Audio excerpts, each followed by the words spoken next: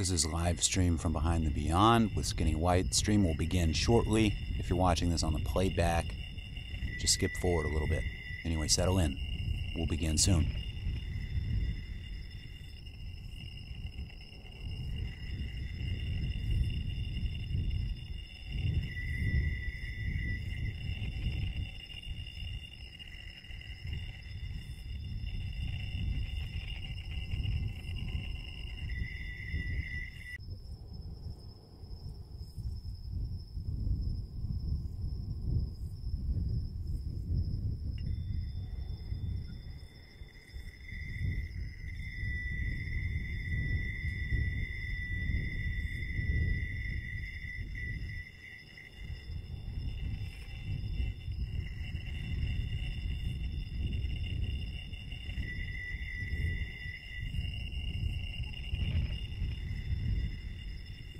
Nuke, have I got a story for you? I'll save it for the middle.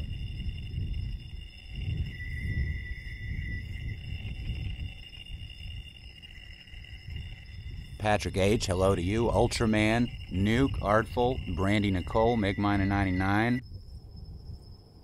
All friends of mine.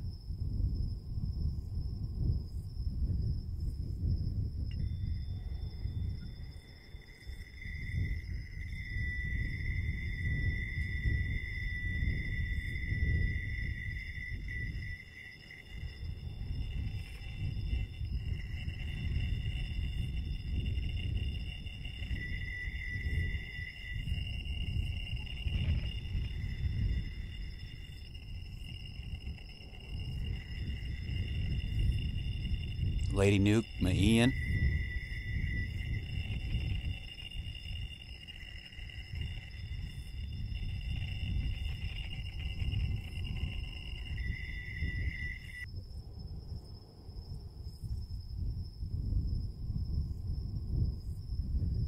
It'll be a good show tonight.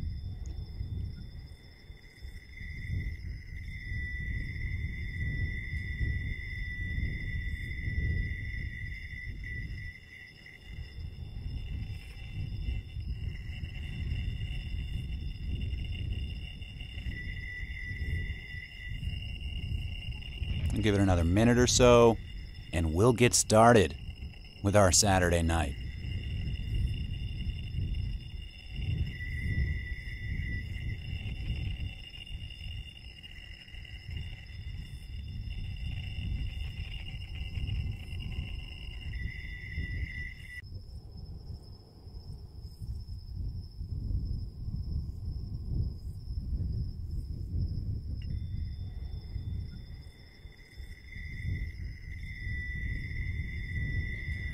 Right, hey, guess what, Chet?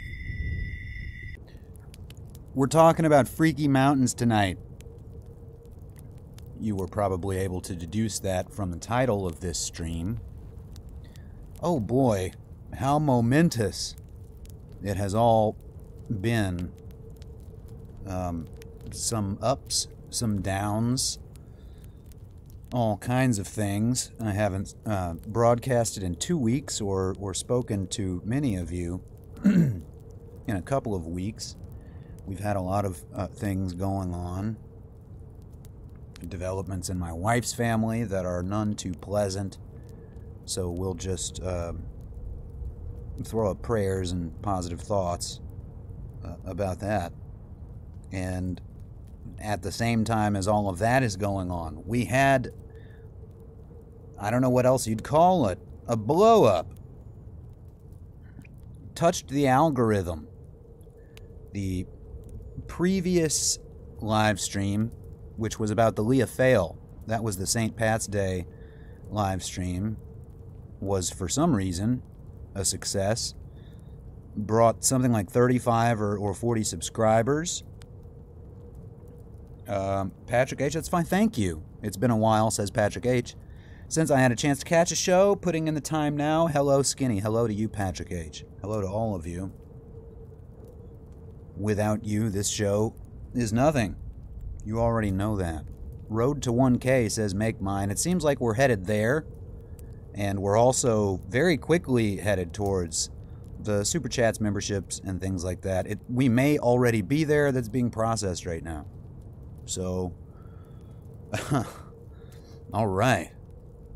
We told a friend, says Nuke. Well, good, because that's definitely that's helped dramatically, dramatically. Xterra Bill, let me catch up with all of you before we begin the show. Says hello, Mr. Who White and Chet. Xterra Bill, hello to you, my musician friend. Um, and then anybody that I missed, Eric Kaufman. Only Mids, Cosset, our sponsor. And Brandy Nicole with a lot of steaks. Make mine a 99 with a lot of steaks. Lady Nuke with a bunch of steaks. I like to see it. Thank you for that. We've got an interesting show tonight. There was a lot of research that went into it, and it got to a point where there was so much of it and so many notes that it started to, to not make sense anymore. And that will happen when you're looking at these weird, these freaky mountains. When you're out here asking questions, questions, questions. Especially about scary mountains. Now, I'll ask you up front, Chet, viewer, uh, new viewer, if in fact you're a new subscriber, a new viewer from the St. Pat stream. And, uh, well, you have your chance now to join the ranks of Chet. Get here in the chat and say whatever you please. I leave the rest of that uh, to the mods. They're good people, all good people here in Chet. Very kind community that we have. Nuke says, I'm a newer. That's not true. So the first mountain, Raw Toe. There's Raw Toe. Hello, sir. Get in the truck. We're talking about freaky mountains. And you guys already know that the first one that I'm going to talk about is going to be Mount Shasta. By far the freakiest, or at least the second freakiest, as you'll see. Uh, my hat's off, yes, to Mr. Scruggs, right. You caught that, Bill. you caught it. I was trying. It's too early for skinny, says Sid says. Is it? It's 10. It's 10 p.m. It's always too early for me, man. This is never going to be easy. Once again, going back to the sudden surge, kind of blow up that we've had here with that last live, the amount of views it's gotten and the amount of subscribers coming in, pushing us right towards the line where I want us to be. I don't know who to thank for that, but I'll tell you right now, it does make you nervous when you see it happening. It does. Especially when you're doing like what I'm doing right now, you're trying to you're doing a live show as opposed to a pre-recorded one talking about these things that involve so much research you could mess anything up. God only knows. So I watched the Lia Fáil live a few times trying to figure out what worked about it, if anything and I still don't know. I can tell you one thing it was a tight show, tried to get right down to the point. I'm looking at Mount Shasta right now. Patrick H., well, then this may be a very interesting one for you. I don't envy you because Mount Shasta scares the hell out of me. it really does. I suppose I'll go out there. That wouldn't stop me from going out there and looking at it. We love you too, Sid. Yes, that won't stop me from going out to Mount, Shasta and having a look. Let's talk about it. Okay. I think that was... Oh, by the way, another thing before we begin. Thank you so much, supporters, who throughout the last two weeks, and of course last weekend we didn't, once again, we didn't do a broadcast. Thank you so much for coming through with support anyway it inspired me to to do the show that I'm going to do tonight. It added a little bit of extra kick. You'll see what I mean. We'll have some fun.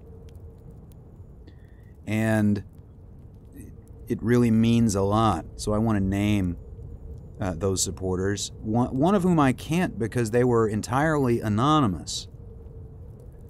One of these supporters was anonymous and sent an Easter package for the family, some candy, and toys even for my youngin. And it didn't say who it was from, but whoever you are, God bless you and keep you. We love you. Thank you for being such a good friend And I know that that thrilled my son as well. Moshi Moshi says, uh, drunk wedding photographer, Moshi Moshi, to you, sir. How are you doing? Uh, ah, yes, Ultraman. Guys, I'm not going to let him get away with it. Yep, Ultraman says that it was him. Stakes for Ultraman for being for bringing holiday cheer. And Ultraman has such a, a good heart, guys. Really a good heart. We all know that about Ultraman. Ultraman always makes sure that there's it's something for the family, it's something wholesome. We appreciate you so much, Ultraman. We, we thank you for that. And not just. Um, also, Kirk Burning came through with support, I believe, yesterday. And um, I was shocked at that and humbled. And so we admire the work of Kirk Burning, who I know has had himself a very hard time and um, recently, and yet still he prevails just want you to know, Kirk Burning, if and when you catch this broadcast, how much we love you and appreciate you. So, stakes for Kirk Burning, for that matter. What a community we have.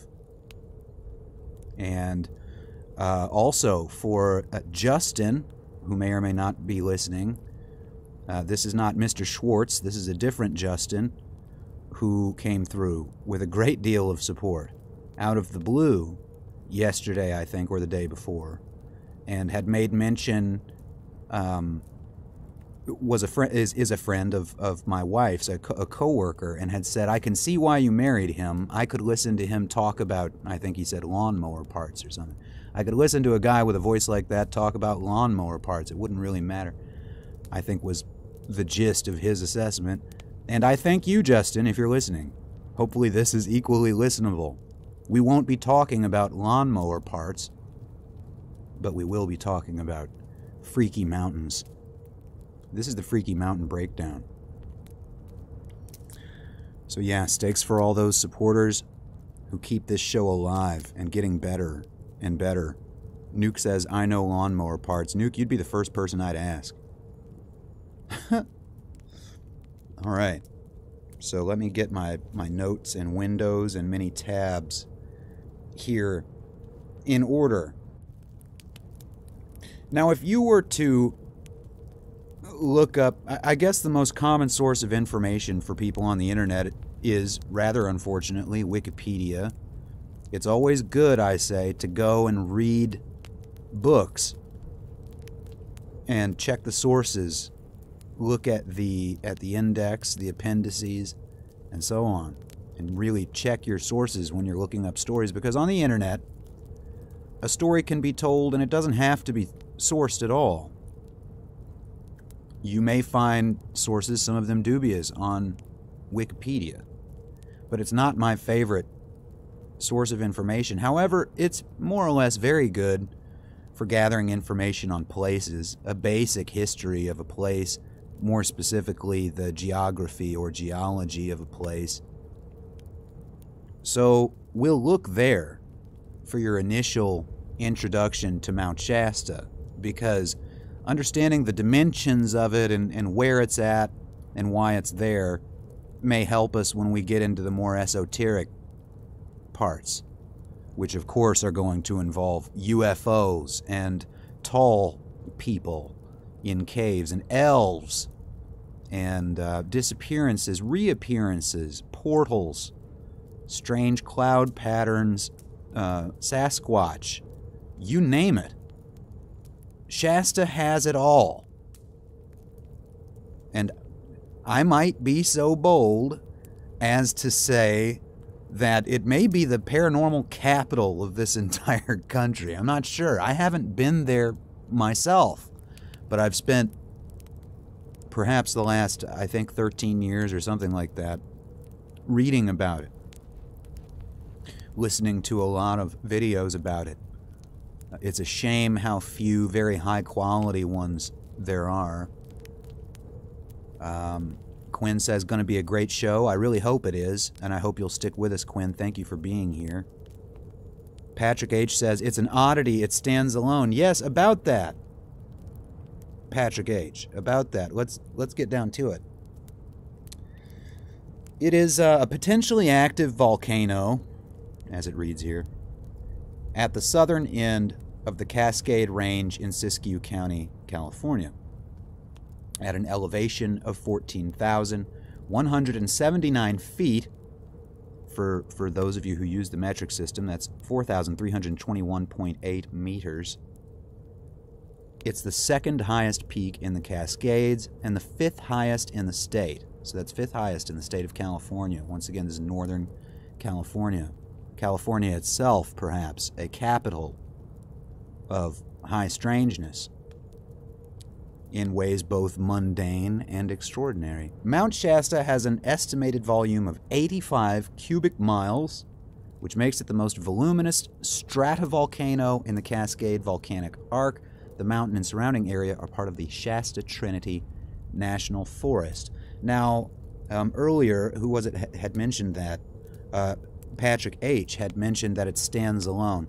Yes, it's um, the reasons for its location are unclear even to geologists who see it as somewhat of an anomaly, right? When they consider the the event because sometimes points in time, uh, geology after all relies heavily on using a point in time as a marker for uh, for place, for placement, actual location.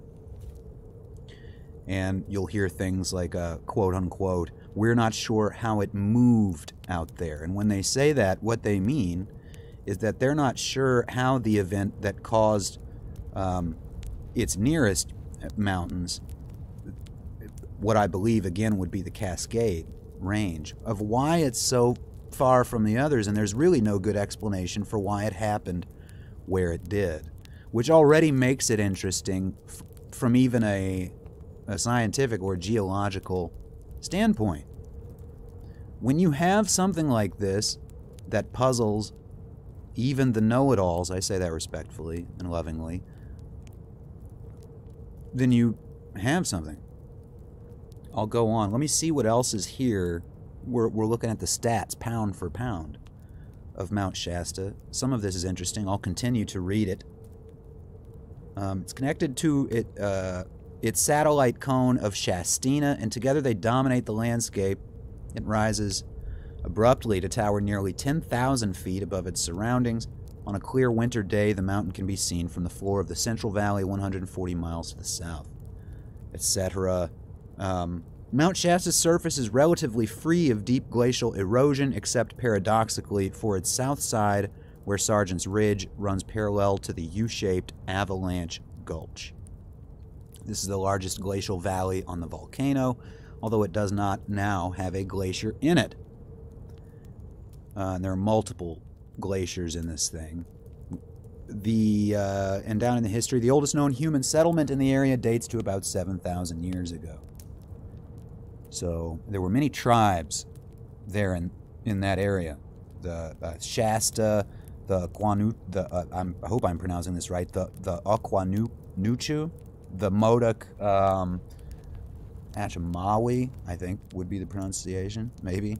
Um, the Karuk, the Klamath, Yana, Wintu. A historic eruption of Mount Shasta in 1786 may have been observed uh, by Lapérouse, but this is disputed. Smithsonian Institution's Global Volcanism Program says, oh, here's the Smithsonian again, says that the 1786 eruption is discredited and that the last known eruption of Mount Shasta uh, was around 1250 AD, proved by uncorrected radiocarbon dating. All right. LOL, but I believe in you, says Ultraman. I was just correcting your grammar. Who, me? Or somebody else? There's something going on in there? Okay. Lock it down. Lock it down. All right. So, once again, going back into the, I guess, what we would call the natural history as opposed to the unnatural history. Celestial, hello to you. I'll catch back up with you guys, Chet. We're going to run this program here. I want to try and and get through this stuff.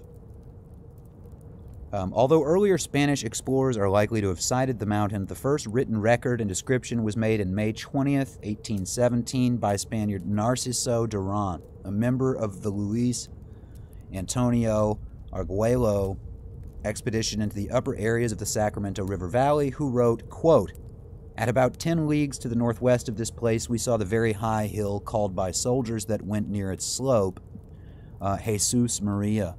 It is entirely covered with snow. And on and on it, it goes.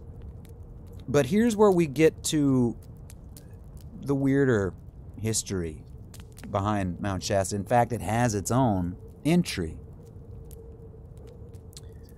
And uh, off the top of my head, if I were going to talk about it, we could talk about Lemuria, right? I'm sure many of you have heard of it. It's comparable to Atlantis, a missing piece of, of Earth, a missing or, or relocated civilization, entire chunk of Earth that supposedly collapsed beneath the waves, much like Atlantis.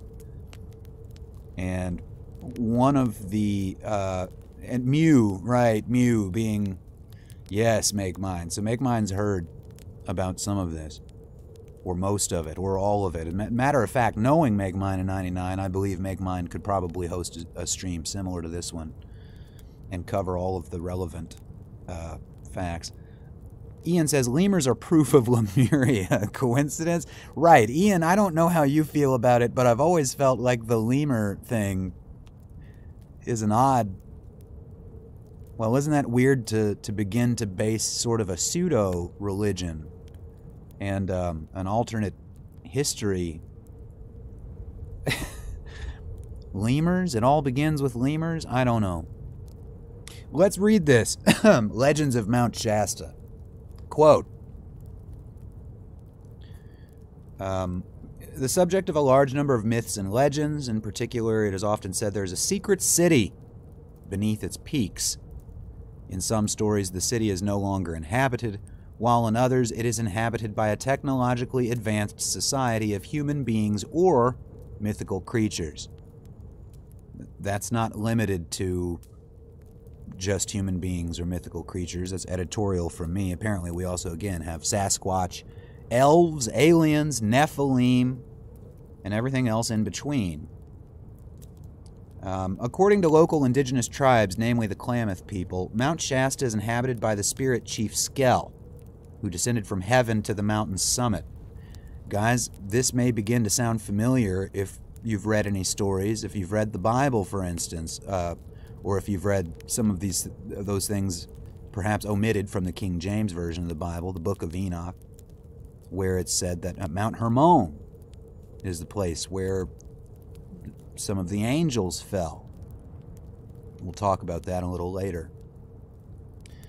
Um, but I'm already seeing here an interesting kind of uh, similarity between these two stories. One from natives over here, and then another in biblical times from the Middle East. Skell fought with the spirit of the below world.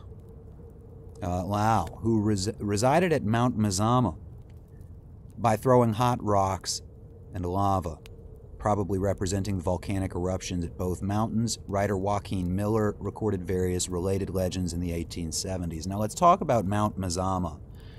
It's a it seems to be when you look at it, for instance, if you look at it, uh, if you look at a satellite image of it, it looks like a giant crater, uh, a caldera boiling lake, which is interesting.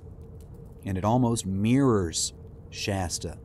So the indigenous peoples at this time saw these two mountains as fighting with each other, waging war with each other, because these uh, gods resided in each one.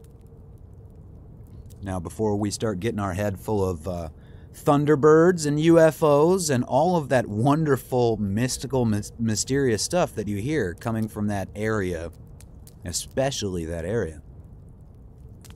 Before we go there, let's look inside the mountains where perhaps things are even creepier. So you have the idea of this city, a lost city inside the mountain called Telos.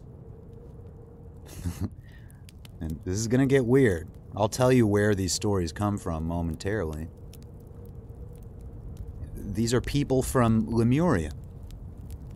Again, you just kind of got to go with that because there's a group of people who believe, various groups, sometimes referring to themselves as ascended masters and things like that. Don't drink the Kool Aid, folks. Who uh, claim that Lemuria, or rather its, its refugees, went and built a city inside of Shasta. Now, people who are fans of Hollow Earth theory get into this kind of thing quite a lot. I'll continue. The legend grew from an offhand mention of Lemuria in the 1880s.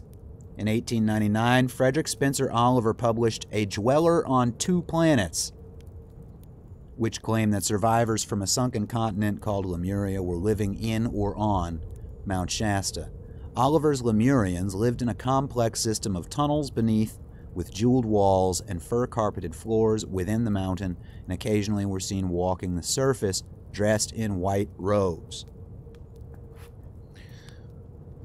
Mr. Paulides, with the, the missing 411 story, is one of the most interesting ones I ever heard out of his neck of the woods, no pun intended, haha, is the one about the robot grandma. I don't know any other way to describe it. The young boy who was who was missing. We've touched on this one before. I think it's the strangest story coming off of Shasta. And um, he was he was told to um, to provide a stool sample. Apparent again, this is his story. This was a very young boy. As a dad, it, it scares the hell out of me. I have a young boy myself who was um, older even than this poor boy who disappeared. But he came back. He came back. But he was directed by someone who appeared to be his grandmother, and it wasn't. He said that he knew that it wasn't. And then later on, they found out, that, or the grandmother, the real grandmother, says, well, she had had an episode two weeks prior where she felt something like a pinprick in the back of her neck, and then she passes out. Right? Then later on, you have this boy disappear. He says he went into a cave and saw her there, but she wasn't herself. She was something else. Maybe something like these doll people that John A. Keel would talk about. The fake grandma. Right, Skinwalker, says Ian. Gotta put tinfoil hats on, says my wife. Patrick H. says, it's in the Oreos. Raw Toast says, uh, grape, grape drink, no. Yeah, don't drink the Kool Aid. So there's all kinds of UFO activity around this place, and this goes back to the indigenous legends. There's an interesting thing that didn't just occur here, but but that you'll hear in a number of other native legends about not exceeding the tree line. Don't go past the tree line because that at that point on a on a high mountain, on a peak, on a pinnacle, once you're past the tree line, you're in the domain of the sky people. And it's been it was always maintained that way. Raggedy Ann, hello to you. She says happy mid Saturday. I'm going to make sure that it's an extra Saturday. How about that?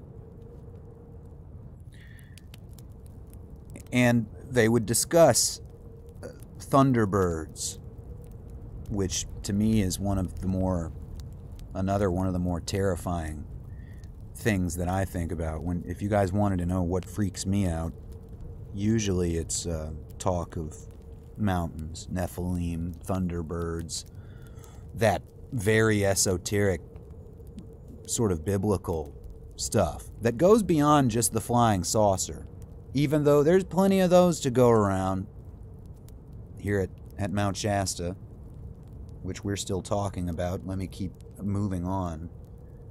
There have been many, many Bigfoot sightings.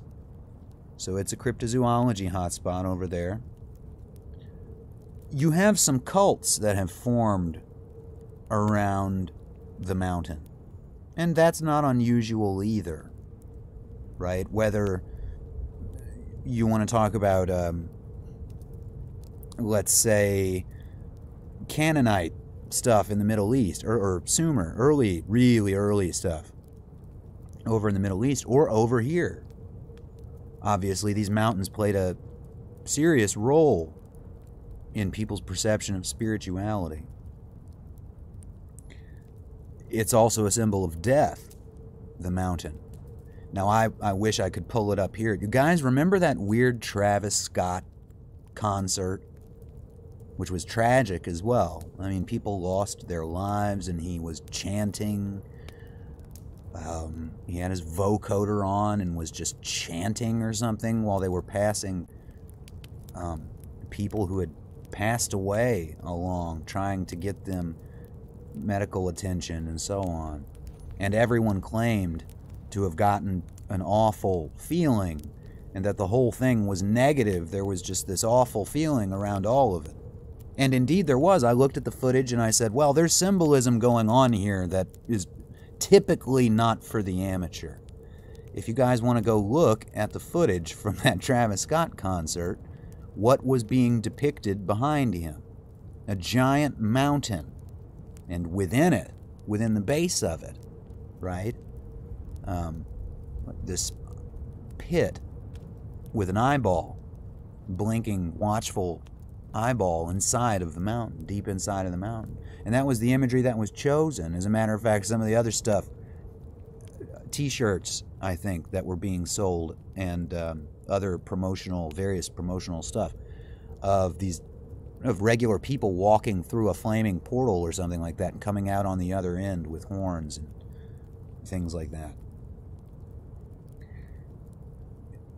Even now, whether that was an actual strange paranormal event or not, the whole Travis Scott thing, it was there was certainly a lot of occultism, occult imagery that went into it, and so I'm trying. I'm going to draw, you know, a, a parallel between that kind of mainstream imagery and then this more esoteric stuff, and really it's the same thing.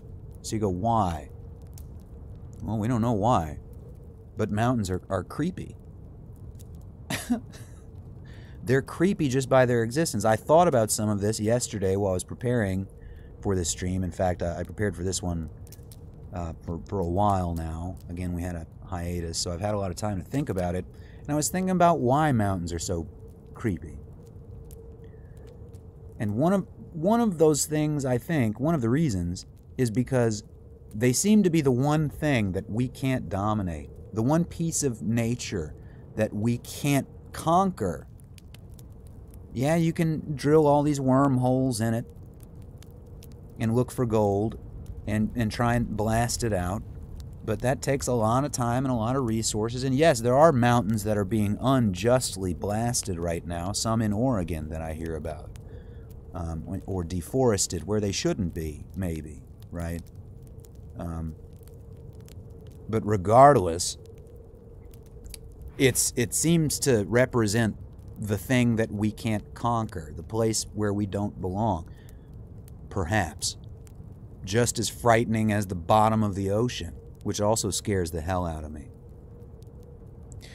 Now, some, some strange characters have popped up around Shasta and its legends. And I, while speaking about these cults, I may as well speak about these people. Um, among these cults or um, groups, whatever you may you want to call them, the I am activity. And this began, I think, in the 20s. Let me check um, I'm sorry, the 30s. Yeah, by Guy Ballard and his wife Edna Ann Wheeler Ballard in Chicago, Illinois. It's a long ways away from Mount Shasta. But it's not lost on me that around that same time, the Hermetic Order of the Golden Dawn was operating in Chicago at that time, uh, as well as many other major cities and many of these people who went on to create their own smaller groups were influenced by folks like uh, Arthur Waite and Helena Blavatsky. The usual, the usual suspects, the usual wizards, if that's what one wanted to call them. Um, the I am activity is was just one among many of a lot of these different groups who acknowledged the idea of the existence of these people who called themselves the ascended masters. Now, if you look into Golden Dawn's bag, these people would have been called the Secret Chiefs, which is also a really good band. Secret Chiefs 3. I like Secret Chiefs 3 anyway. But yeah, the, um, so they were also referred to as the Secret Chiefs, Ascended Masters, whatever you want to call them. Now, do I think any of it was real? I have no idea. I tend to check out once a guy shows up referring to himself as an ascended master, or that he understands something that I don't, or he's asking me, Are you lonely? Do you feel misunderstood? Well, take this pamphlet, sir, and come with me. I'm not going. No. No. I'll go look at the mountain. How about that? I'll look at it and I'll come to my own conclusions. God forbid I see a creepy UFO or an elf or Sasquatch. If I saw something that interesting, hell, if I saw one Squatch, and I really would like to, if I saw one Squatch, I would I wouldn't have to join a movement or a group. I'd go I'd screw off and go I'd live on the side of that mountain in a cabin, and I'd never have to do anything or talk to anyone again. I'd be well, it's settled. It's settled. Sasquatch is real. I'd toast to it every day. So, and it doesn't end there. Even stranger characters began to appear around the the Shasta hysteria of the early 20th century. Now, one of these was an individual you may have heard of before, um, considered sort of a mystery figure, not unlike John Titor or Indrid Cold. This individual was, any guesses, Chet? This individual's name was Valiant Thor. And there are plenty of YouTube videos about Valiant Thor. They're all more or less very entertaining. Valiant Thor is a uh, is a strange character. I'll read to you because there's not an, an actual Wikipedia article. Instead, on there's a wiki, one of these small, smaller like fan wikis. There's an entry on Valiant Thor. Um, this was an individual. Now, from what I understand, by the way, Valiant Thor has appeared in popular media, even that there have been cartoon characters, and and I guess he has appeared in television shows as a character, but that not a lot of people realize this comes out of an actual event in history, or this character. Anyway, this strange man I'll read. This is from an article from uh, Tiln, T-I-L-L, in dot com. An article titled "Valiant Thor: The Alien Who Lived in the Pentagon." And I'll. This connects back to Shasta, and I'll tell you guys how and why here in a moment. Valiant Thor is the subject of a truly unbelievable story. We mean it. Um, let me, if there's an editorial here, let me uh, move on. Uh, oops, let me get that out of the way as well. Come on now. Uh, get out of my way. pop-ups. This pop-up. The pop-up in this case has 41 normal things in Japan. It's showing me a picture of any of something that's anything but normal. So, um, in March 1957, basically. I'll just wing it here. Since I can't read this part, it's blocked by a, a, a pop-up. You have this UFO, a flying saucer, or, or craft, land somewhere near Alexandria. And police came out there and everything. And this guy pops out. He says he needs to speak with President Eisenhower. And supposedly they take him to the Pentagon. And then he tries to talk about why we should get rid of nukes and hit the like button, says Make Mine a 99. Please do. It helps. I've learned that it does. He, yeah, as Nuke says, he even spoke to Congress, lol. It's a funny story. It's weird. According to the mission of Valiant Thor, here, let's read this part. According to Valiant Thor, he was sent here by a galactic council to convince him. Oh, man. he was sent here by a. I wonder if he had a Nike sponsorship. to convince humanity to shy away from their use of nuclear weapons. Well, that's an admirable pursuit. Val and his group of alien assistants hailed from the nearby planet of Venus. These aliens were humanoid in appearance with a single discrepancy of six fingers on each hand. Um, Val convinced President Eisenhower to create a council against the use of nuclear weapons. However, the committee was repeatedly blocked by members of the CIA and DoD. Again, this is all according to this article. When it became clear that the office of the president could not deliver the results for which he came, Val turned to evangelist Frank Stranges. Okay? Now, once we. So, Valiant Thor has a funny story, but then once you start to look at Frank Stranges, and um, who was it? Uh, these the other folks uh, from Chicago. Um, Guy Ballard. Okay, it, it's not dissimilar to Guy Ballard, although Frank Stranges was a Bible reading man. Now it's religious, says Make Mine. I know, it's funny, the weird overlap. Sometimes there is, often there is an overlap between the paranormal, the religious, there are some who may argue it's all the same thing, and if you're enjoying tonight's program, boy, are you really going to enjoy it when we get to the, the second segment of tonight's program. Because it has everything to do with that. So uh, let's get back to it. Frank Stranges. He was an evangelist. He had just done a book. He was writing a book about um, the quote unquote alien, or biblically, the angelic encounter in the book of Ezekiel. The wheel within a wheel, right? That um, it was rimmed with eyes. Each of the wheels had these many eyes on them, and so on. And and he was writing this when he met Valiant Thor. Uh, says here, quote, Val taught Stranges about the validity of some theories and about what God thought of humanity quickly Frank Stranges was campaigning for Val, it appeared that since the alien couldn't use Eisenhower for his purposes, he would uh, choose to use an author instead. So the problem with this, guys, is that our only source is this book that was written by Frank Stranges. And spoiler alert, it caught on.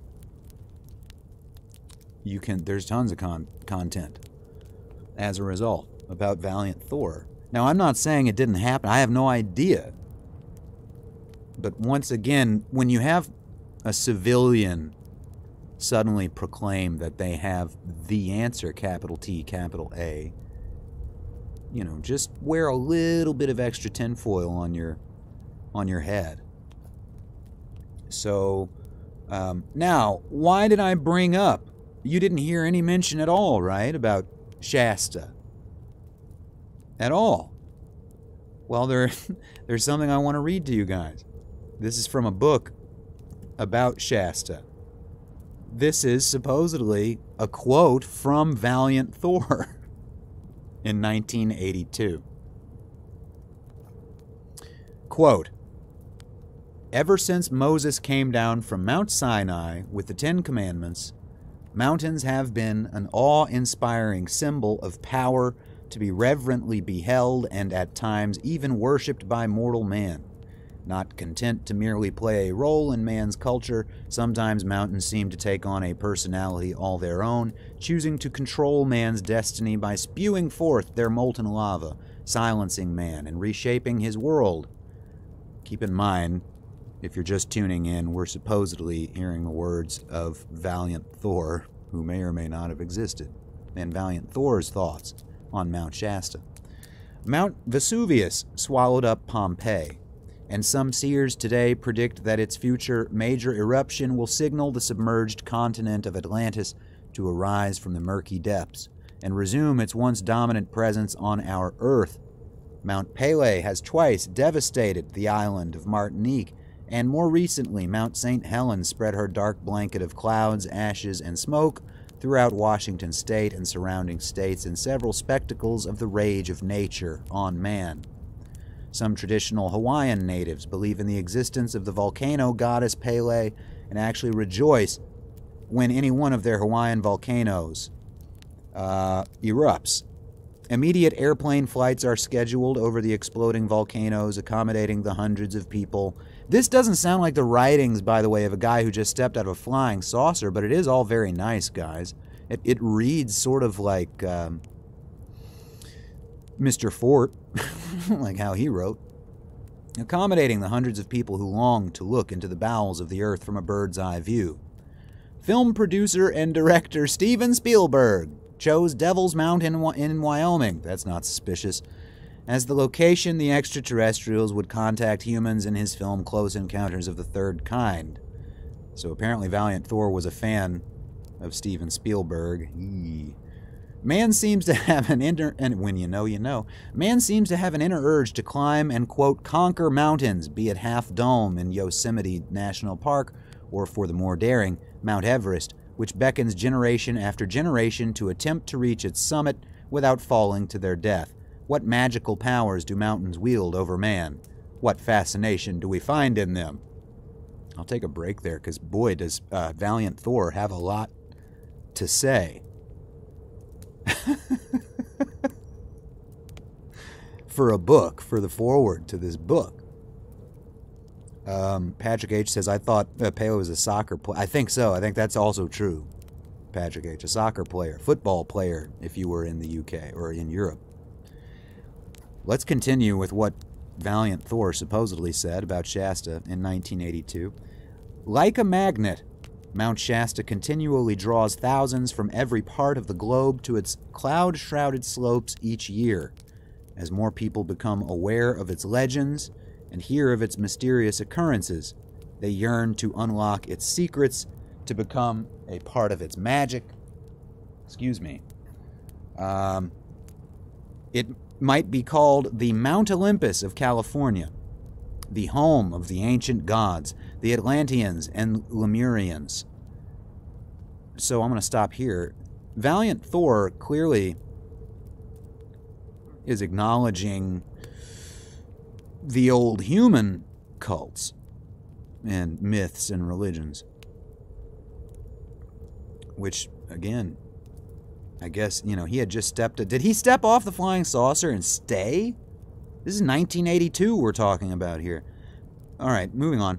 Mount Shasta stands out as the pinnacle of all mountain peaks to students of occultism, ufology, mysticism, and ancient folklore. It is regarded almost as a shrine, uh, a common spiritual ground to which all who value truth, seek perfection, we're going to get through this, Chet, and enlightenment can assemble to receive mutual spiritual growth and cosmic awareness. Thousands come to witness the I Am activity pageant in the town of Mount Shasta annually. The Rosicrucians are another occult group who frequents the mountain. Oh, I don't doubt that for one moment. But it is the strange phenomena seen, heard, and felt by countless individuals whose tales of their experiences spread like wildfire that draw yet more people who dare to attempt to unravel its tangled web of intricate secrets.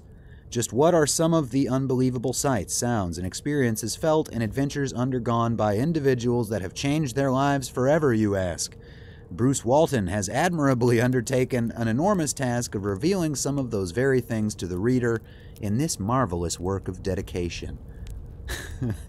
With great love and care, he has assembled a collection of the best eyewitness accounts, legends, adventures, and stories that have transformed the lives of those who experienced them Unquote. These are supposedly, again, the words of Valiant Thor, 1982. Wow, so let me catch back up with you, Chet. After all that reading, let's do some some listener and, and audience participation here. about all this. I don't mean to laugh. I really don't. And I'm not. I'm not grumpy. I already told you guys I believe that there's something that goes on with Mount Shasta. I think that there is something paranormal about it. I think there are many, many things that are paranormal about it that exceed the paranormal and then go right into the parapsychological and then exceed that and get uh, down into the existential. It's a scary place to me. And, and no, I wouldn't be surprised if I encountered a UFO there. So uh, let's see what Chet has to say. I learned how to water ski on Lake Shasta as a child, says Petey. Um, guys talking about the Rosicrucians? They're basically a book club these days. I know, trust me. Harmless. Book club. Um, Rawto says rule number one never take lava rock home from Hawaiian Islands. Bad juju. Yeah, oh, we all know that one. We already know. You may end up with a raw toe, right, toe? Let's see. Who else is uh, Skinny? I lava you. I love you too, Petey. oh, punny. Patrick H. Yeah, talking about the laser beams. Oh lord, those are showing up a lot lately the laser beams. Maybe we'll talk about them on another stream when I when I find a video that doesn't look hoaxed because somebody took a sound effect of Mecha Ghidorah and put it in one of the TikTok videos when you hear the laser. And I'm like, wait a minute, I have the Criterion Godzilla collection. That's the sound effect. That's Mecha Ghidorah. That one sound effect. That's weird. Sorry. Hate to burst the bubble on that one. Nuke uh, redeeming a Nuke Nuts advertisement. Let's see if it comes through. Nuke. Yeah. That'll be enough of that, Eric. Seriously, mods. Mods, mods. Keep it orderly in there. We're trying to be intellectual, damn it. So yeah, um, Shasta's got it all for you. There are many videos about it. There are many that go, look at that, mods right on top of it. Thank you. You know my heart. You know my heart, mods. I love you and appreciate you. I'll take you with me wherever I go. Hopefully one day I could pay you. I'm serious. We're taking over, right? Road to 1K, as Make Mine keeps saying. yeah. So, um, Toe, we're going to change that one. You said you didn't want one before, if memory serves, so we honored that, but I'd love to give one to you. Uh, speaking of hearts, the heart in chat drives me loco. Oh, tapping the screen, tapping the screen. Yeah. Especially while we're out here asking questions, questions, questions. Let's get to another freaky mountain, my friends. You're going to be rewarded for staying here for this one. Let's get to another freaky mountain. Now, this one is one uh, that I personally find freaky. That'd be the uh, King's Pinnacle. In it's it's on the border, North Carolina, South Carolina. King's Pinnacle is a weird place. I don't know how many of you have seen the videos of UFOs, flying saucer, or, or unidentified aerial phenomena that come out of that region. There's quite a lot of it. The gelatinous ones, the, I mean, everything. There was a giant cube. There's a video of a huge cube. There's one that I guess was comparable to a plastic bag floating through the air, except it was giant and it was floating through the sky. Ribeye Steak asks, What about Walton's Mountain? I don't have that one here in my notes ribeye. And I like your name. I love your name, by the way. Because uh, I love steak. But yeah, uh, Walton's Mount, I'll have to look into that. You're not referring to, um, let me, well, uh, we've got the internet at our disposal. Hold on. I've got time. We do this, uh, we do this thing for you guys. Okay, I see a, oh, in Virginia. Okay. Now, would this be Oh, wow. Where's the real Walton's Mountain? Oh, so that's connected to the show, The Waltons? okay. Uh, it doesn't say whether that was built on the real There is like a real Walton's Mountain. I don't. I'll have to look more into that. That's funny. Are there UFO sightings out there? Patrick H. throwing up stakes for uh, maybe for ribeye, right? Nice name. Francesca, hello to you. And if there's any of you I've missed, Adam S. Love to see you every time. Um, if there's any of you I've, I've missed, hopefully you'll stick with me. I'll catch uh, up with you again here at the end of this thing. Oh, and some of you are having safety meetings. I like the energy tonight, and I hope that you guys will appreciate. I brought Alert Box back for here on the at the campfire. Once again, if you're a new subscriber, a new viewer, I know there's many of you. God bless you and keep you. Thank you. I hope you live a thousand years, each one of you. Thank you for coming over to our side, uh, for subscribing to this channel. I appreciate it. It makes me feel like I'm doing what I'm supposed to be doing. Uh, flamethrower. I need to get rid of flamethrower. Yeah, a few alerts. Get them out of your system and then we'll continue, guys. if you'll please. Get those redeemables. Yes, we have them. You can type in little magic words and these funny things pop up. We'll add a few more over time. But we put the fun in paranormal. uh, no, wait. I had something. No, we put the T in Fortian. Huh? You like that? Because I've switched from coffee to tea lately, Chet.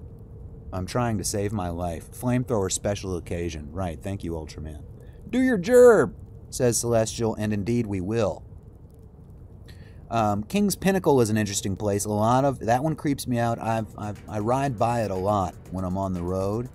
There's not a single time I don't look at it at night and feel, you know, a little spooked out by it, knowing what I know or expecting that I might see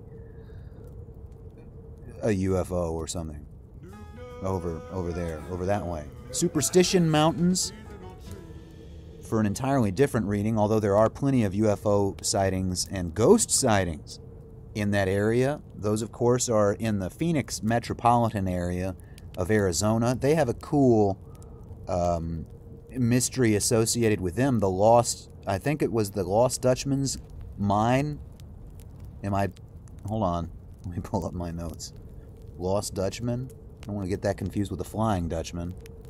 No, it is Lost Dutchman. Yeah, the Lost Dutchman's gold mine, which is itself an entire mystery that you guys can look into. But the reason I mention that one here, we have a similar legend. You guys are going to see a theme begin to appear. Um, and this one belongs to the Apaches in the area. Uh, some Apaches believe that the hole leading down into the lower world, or hell, or hell, goodness gracious, is located in the Superstition Mountains. Winds blowing from the hole are supposed to be the cause of severe dust storms in the metropolitan region. Um, and I've seen a number of uh, message board posts about people who've had ghostly experiences in that area. And so I included that here because you, you do also have ghostly encounters over around Shasta. So here we're going to get to Shasta being one of the, the big ones. Here we're going to get to the, the OG, at least biblically, and that would be Mount Hermon. Yes, Mount Hermon, which is a lot like Shasta, has a lot on it in the Bible. It's mentioned um, passively, it's mentioned casually in the Song of Solomon. Uh, I think there's uh, something about uh, Solomon's wife, which that's kind of a spicy book, very romantic, I guess the polite term for Song of Solomon, of his wife descending from the mountain. Uh, it's it's where El, which was at that time a, a, word for God, of course, for the Almighty, held court. Uh, this was a Semitic god at that time, uh, known to the ancient world, and this is a from actually this is a religious site, but it has very good information. Uh, all pro pastors international. Uh, not only is a secret dwelling place of, of the Anunnaki, right? Mountain of divine assembly, uh, and place of the fallen angels, right? Uh, the Bene Elohim. So, uh, all kinds of stuff. It's also said to be the gateway to Tar- uh, Tartarus. Now remember, that's supposed to be below Hades. So already there's a really dark, I mean, really dark, scary history behind this mountain. So El Shaddai, you, you see that one mentioned, right? Well, it, it said that that means God of the mountain. Now remember when I told you about native legends revolving around Shasta? Or you could even go and look at the Superstition Mountains and see the same among the Apache. So drawing this pulling this thread here between these different mountains and the fact that they're all associated with being like homes for the Almighty. And they also happen to be places where you see tons of UFO activity. Over at Shasta, there are people who say they see UFOs fly right into it, as in right into it, not into an opening or, or a, a portal or a hole in the mountain, but in fact just just going right through it in a ghostly sort of way. Well, when it comes to Mount Hermon, I think I've brought this up before. One of the antipodes, which is a, a geographical opposite, right? The, the opposite side of the world, precisely, an antipode. Um, Mount Hermon has one, and guess what it is? Roswell, New Mexico. I think if I'm remembering that correctly, because that was from another stream. That's that's the antipode to Mount Hermon, Roswell, New Mexico. So I did a little bit of research and I said, well, if that's if Roswell is the antipode to Mount Hermon, which is very very interesting, well then Shasta, where it's claimed that people see UFOs flying into the mountain without any opening, right? As if they could pass right through the rock. Think about the track with me, Chet. Um, then what would be the antipode of Mount Shasta? And when I found it, it, it seemed boring only at first. It's uh, in, the, in the South Indian Ocean, way down there, when you start to get into the Antarctic regions, right? It it just so happens that um, someone, if, if one of you guys are fast on the draw, the longest linear crack in the earth, or the longest linear shelf, as in a straight line, is in this region. Okay, let me pull it up because it's somewhere near the island uh, or Isle de uh, Possession. So let me pull that up real quick. Sorry, guys, my memory's failing me a little bit, and so I need to pull up, I need to refresh it with some of this stuff. Um, yeah, Possession Island. It's in the subantarctic uh, Crozet Archipelago. Or archipelago. Sorry, I'm doing a lot of reading. Part of the French southern and Antarctic lands. So it seems, it would all seem very boring, except uh, the the antipode again to Shasta, this region of the Earth has the longest, the uh, linear crack in the Earth shelf near Australia, uh, and it's called the uh, 19th. Uh, one moment, let me pull that one up. Uh, uh, hold on, one moment, guys. Just a moment. We're taking it easy. No, it's not the Rowley shelf. I know that the number uh, 19 is associated. Has someone got that one for me? We, I may find it here if I just go ahead and, and pull up the... Um, yeah, one of you guys got it. What's that thing called? oh, me. I've failed. I have failed, Chet. I can't find it. The, is it the 19th meridian? Okay. There's also well there's and there's another there's another name for it. It's it's some, a somewhat mundane sounding name. Um, it almost sounds like a club that you would hang out at. Uh, what is this thing called? Yeah, well, we'll go with the 19th meridian.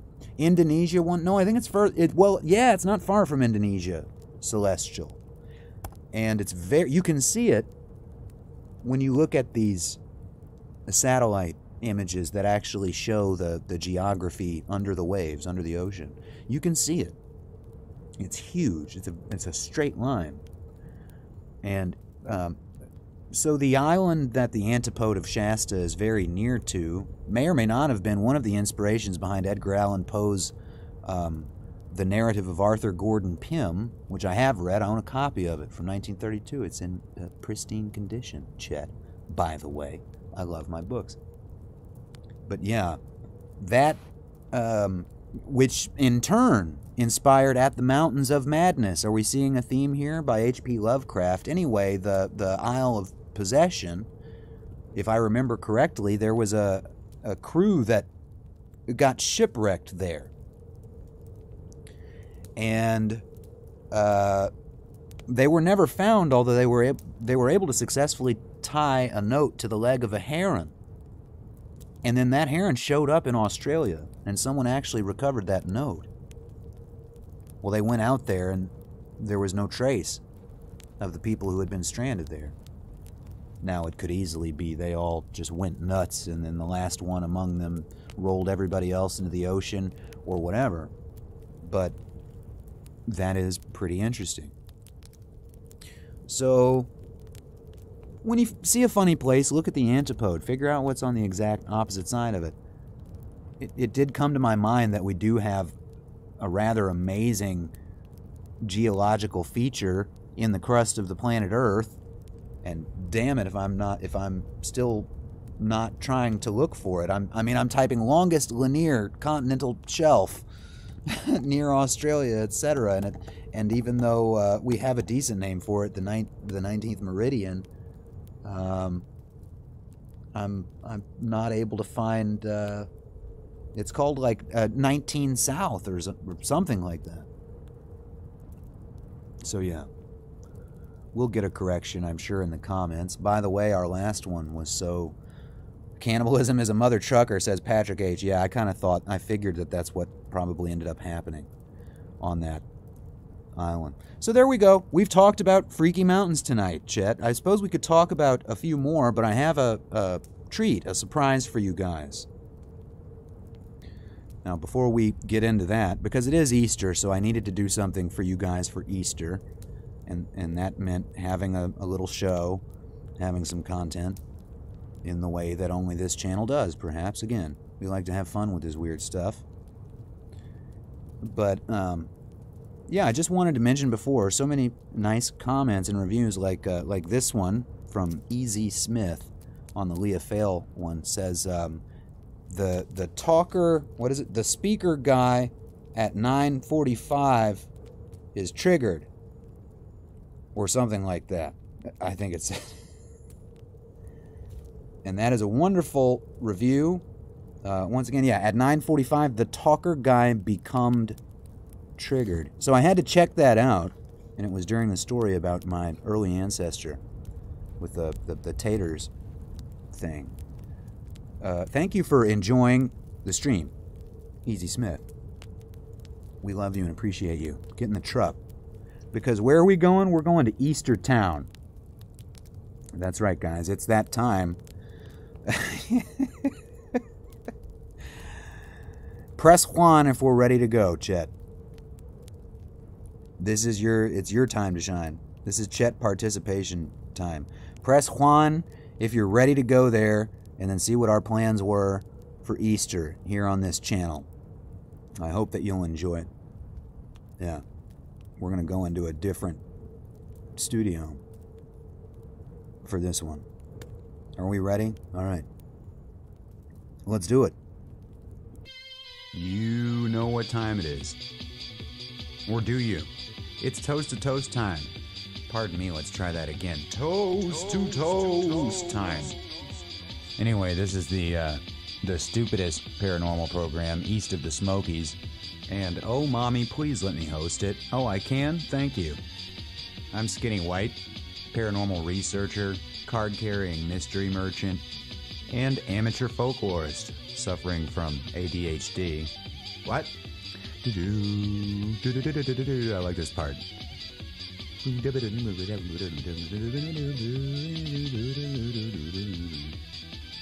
So, this is basically the Easter broadcast, and I wanted to spend some time talking about Easter and uh, maybe some of the origins of iconography associated with it, but there's no easy way to do it, you see, because it could make people upset, right? yes, there are folks out there right now who are upset, apparently, about the decision of UK chocolatiers to suddenly refer to the Easter egg as a gesture egg. And while folks are arguing, perhaps rightfully, that this is at least ridiculous and at most uh, an insult, well, Cadbury says they have nothing to do with it. It was an independent store. They claim they have no plans to replace the Easter egg with the gesture egg and blame it solely on the store in Spalding. So, here to talk about it with us is the ghost of 20th century mystic and ethnobotanist, Terence McKenna. Yes, hello. It is my pleasure to have you here, sir. It's always a pleasure. Yeah, it's a treat to Ah, have you here to talk about this conflagration over the Cadbury chocolate egg slash.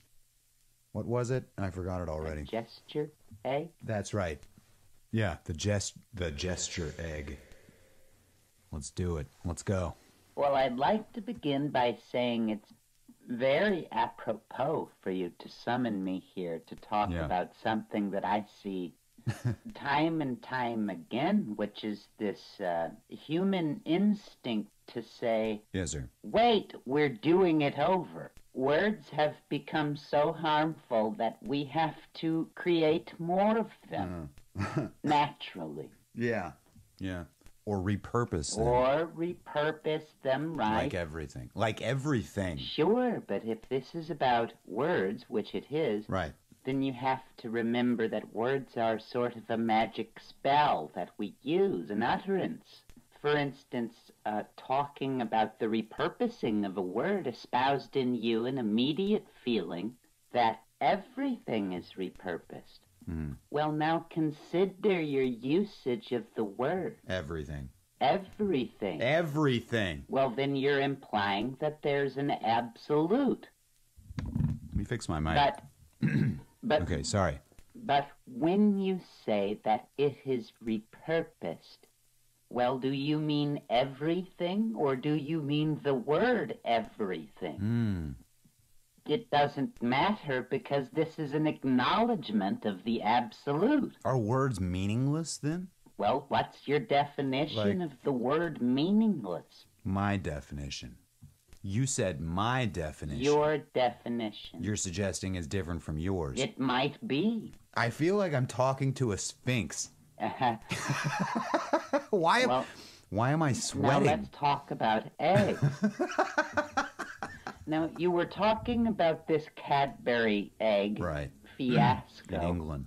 and uh, the gesture egg. Gesture egg. and in this case, it sounds like gesture is an adjunct to symbol. Right. How is a gesture different from a symbol? Well, it isn't. Right. In other words, they're saying, please accept this symbol egg. Well, then that would mean that it symbolizes something. You know? Yeah. I don't know what exactly, but uh, here it is. Yeah. Make of it what you will. Or don't. Or don't question it, right? Here's a gesture egg. Don't question it. I'm sorry. Here's a gesture egg. Well, as they say today, uh, if you know, you know. Uh, thusly, what is the gesture? Right. What are we doing here at this point? The word is to the symbol as the gesture is to the symbol. Words and gestures are just symbols, and this is a very interesting and very strange uh, moment in linguistics. However small and inconsequential it can be, that is, as far as anyone can perceive, this is an argument in front of a convenience store. And by the very nature of the absurdity of it, we can't even begin to approach the well, the obvious hand at play here, which is perhaps to draw attention to the fact that uh, most, if not all, of this symbolism comes from Sumerian cuneiform and cults of Ishtar, Ishtar. and Eostre, variously called Inanna. A lot of this is going back to Gilgamesh and his particular scene. Hmm. One of Ishtar's symbols was an eight pointed star. I always found this interesting. If you look on the Cadbury egg, there's an eight pointed star on it. No, no, you'll do well to remember that this is a gesture egg, but uh. Gesture egg. my question is, uh, how should we refer to the bunny? It, uh, clearly, the gesture bunny or the symbol, the symbol bunny. And well, don't you think it's a little silly that undoubtedly there would be some uh, religious types who would feel that if the Easter bunny were deleted, then uh, it would be an attack on their religion. yeah, I've, I've already seen It's it. very That's why we're doing this one. it's, it's. Where does the Easter bunny come from? What does that have The to do? The symbolism behind the bunny, the hare, is a part of uh, fertility goddess iconography. Right. Fertility. And so is the eight pointed star. Once again, this is the symbol of Ishtar. And it's right there on the Cadbury egg. And yet people are uh, discussing whether or not it should be called an Easter egg Ishtar egg, or Aostra egg. or an Inanna egg or a gesture egg. Gesture egg. right. And so now let's talk about the repurposing or recycling Right. of these uh, symbols. Any scholar of ancient religion uh, might suggest that it's happened already many times. Right. The equinox, etc. You know, first it was Ishtar, It and, goes all the way back to Babylon and then later you end up with uh, Eostra, of Saxony. right? Yeah. In the Germanic version of events, or and, and later on the, the Anglo-Saxon version of Mr. McKenna, we have uh, I have another caller here. You'll have to stick with me on this because this gentleman claims to be the Easter Bunny. Oh, delightful! Once again, you're listening to Toast to Toast. I am your host, Skinnee White, uh, on the phone currently with the ghost of Mr. Terence McKenna. Thank you. But we have an additional caller, Easter Bunny. You are on the air. Yes, I'm here. Is everything coming through clearly? Yes, sir. Yes, I'm. I am. I'm Absolutely. coming through clearly. Okay. Yes, sir. Well, I suppose my first question is, uh, if none of you hacks mm-hmm. can come to a decision on what an Easter egg is, then what the hell am I doing, sprinting around at 10,000 miles per hour, delivering the Well, damn thing? well, that's what we're trying to figure out. you're, si- right. well, you're sitting there trying to figure it out. That's right. I know I have to do it. You have to. have You to have do to do. what? You have to do what? You have no idea what I have to do. No, sir. I And I don't. don't have time to figure it out. I don't have any time to look at these things. Okay. But I do have to make sure that everybody gets one. You see?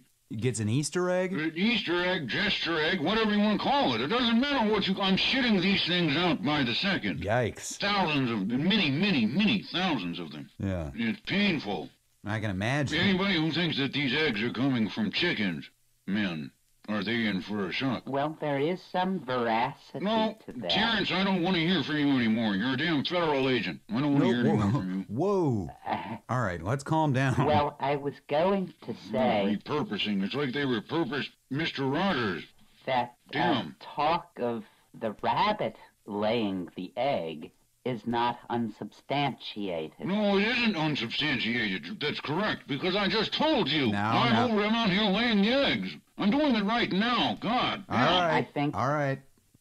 Uh, to continue, Go on. Go on and with it. it seems that our friend here Hmm. may be caught up in a particular rap I call uh, fierce or uh, aggressive agreement. Congrats. Make your case, man. Oh my God. Why am I sweating? The rumored cults of uh, Eostra It's like talking to a sphinx. That's what I said.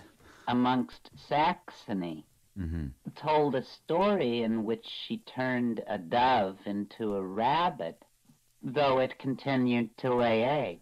Mr. McKenna. Yes, Mr. Thompson. I, I Easter mean, bunny. uh, Easter bunny. In the time that it took for you to say that, I just laid 125,000 eggs. Wow.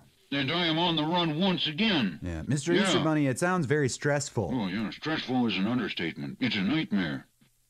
These, uh, Well, quiet, Terence. Let's keep it cool. There's a time and a place for you, man. And there's a time and a place for me. oh, absolutely. These, uh, these things are made of plastic. The eggs. These The- crazy eggs. Are you eating right now? Oh, shit, Are you man, eating I'm, I'm eating an egg. A, re- uh, I don't have any time, a man. regular egg or one or one of your own? I can't stop for regular eggs. Yeah. It's like being an Amazon driver or something. So the pattern of your existence is a, a mighty weird one, Yes. Easter Bunny. Yes, it's a nightmare. I anyway, what was I saying? Oh, I delivered your uh, your Easter basket already. You should have it. Easter bat. Oh, oh, oh. Yes. Yeah. No, I thought I saw. Oh, it. my. Yeah. Easter magic, Oh, cool. bunny magic. Yeah. The suspense is killing me. Of course Yeah. it is. That was a joke. Oh, that was a. Oh, because okay. I'm I'm not alive. I get it. Oh, he's I'm funny. hip. I'm He's a hip. funny bastard. Well, it looks like there's some eggs and candy in here. Eat it. I concur. There's absolutely nothing wrong Yes. with it. Okay. It's uh, it's all perfectly fine. All right. Well, Will, how about we take a snack break and go to commercial? Once again, I'm here with Terence McKenna and the Easter Bunny, and we're talking about. Pardon me, I haven't eaten all day.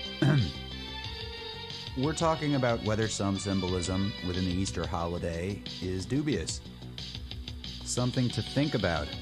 Anyway, we'll be right back after a message from our sponsors.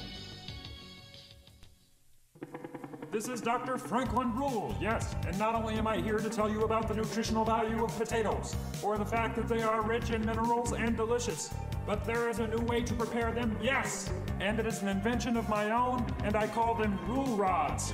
These devices are about the size of a number two pencil and contain tiny fuel rods which, when stuck inside of a potato, will cook it thoroughly using the power of their own radioactivity, which is completely harmless because the potatoes are covered in salt which contains iodine. Yes, rule rods cook a potato without using an oven.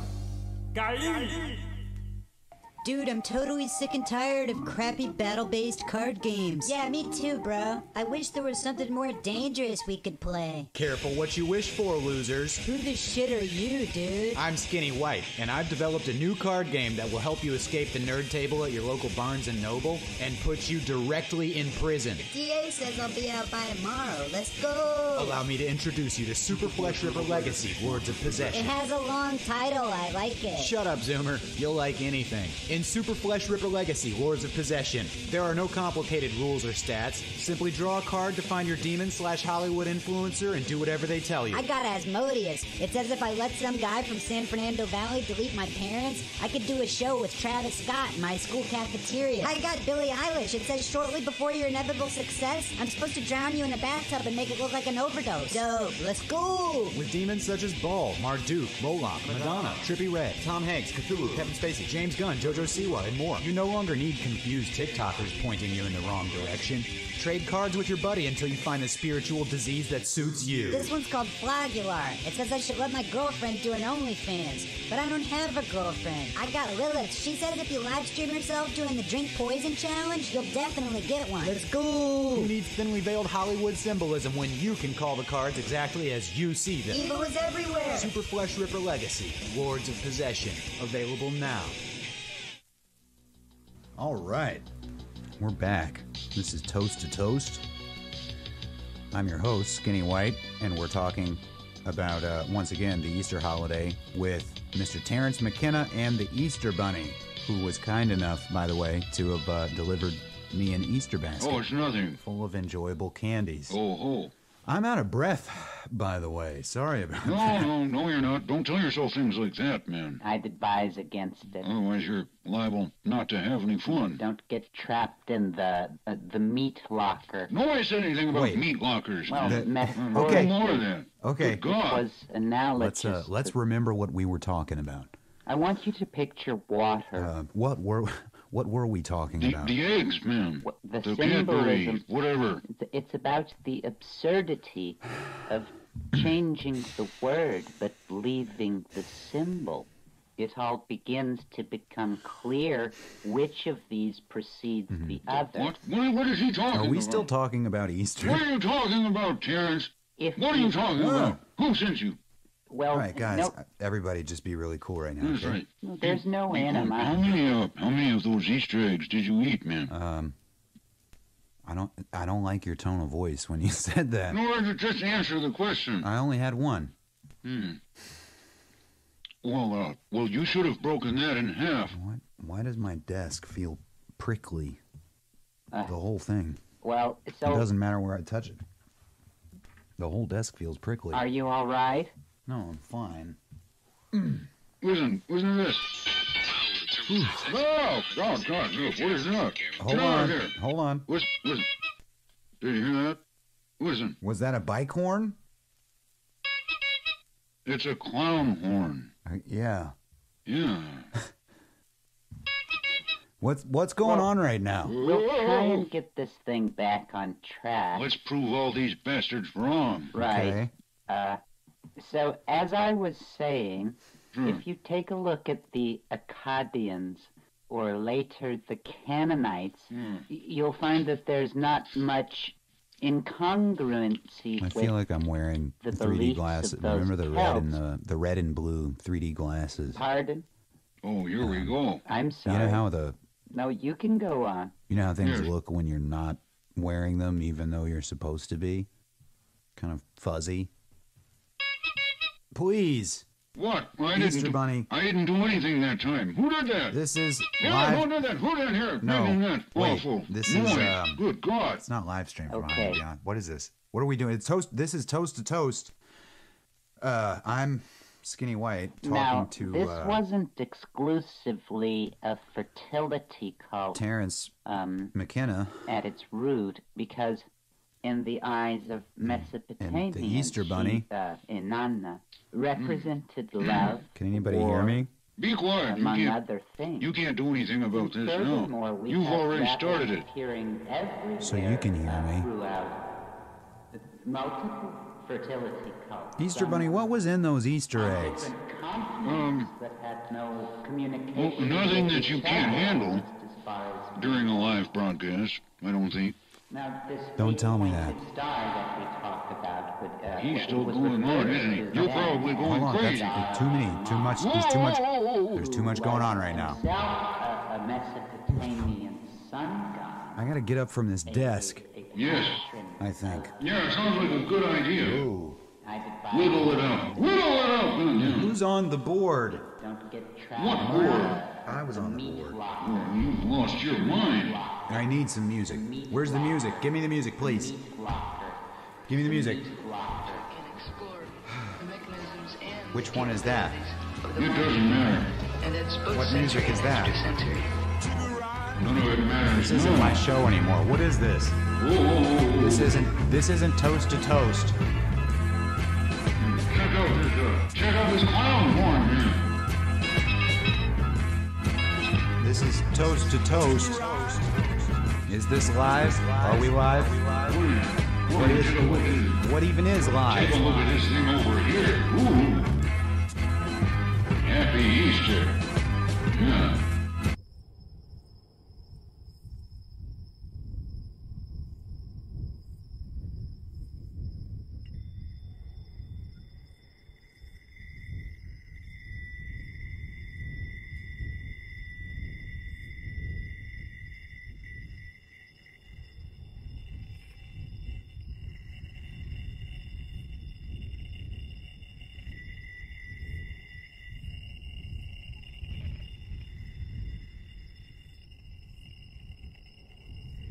Easter, Chet.